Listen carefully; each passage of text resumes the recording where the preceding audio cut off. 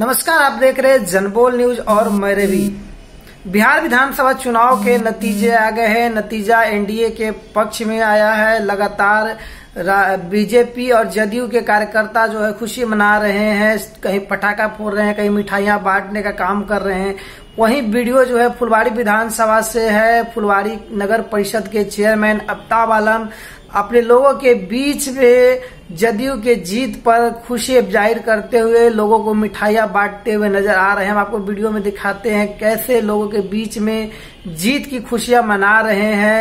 जनबोल news के लिए फुलवारी से मोहम्मद आरफिन की रिपोर्ट को पूरा देखिए। अगला विधायक तो ही है। गाँव का। जूनियर बलिया अब हम करें ऐसा दब दब। ठीक ही। साइड में रहो आगे मत करो। बिस्मिल्लाह।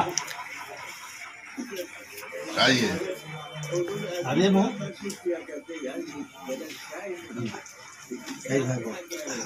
भैया भैया को भी है पहले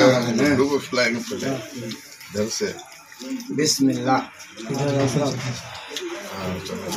हाँ, खाइए ना गुटकावा समझिएगा कि साइड में कर लीजिए। भैया को भी। भैया को भी। हाँ, हो गया खुल जा फाइट नीतीश कुमार जिंदाबाद। घर में नारा हो गया बिहार की में आई बहार हाँ बाबा हाँ बाबा। फिर से नीतीश कुमार मौलाना इधर। हाँ बाबा।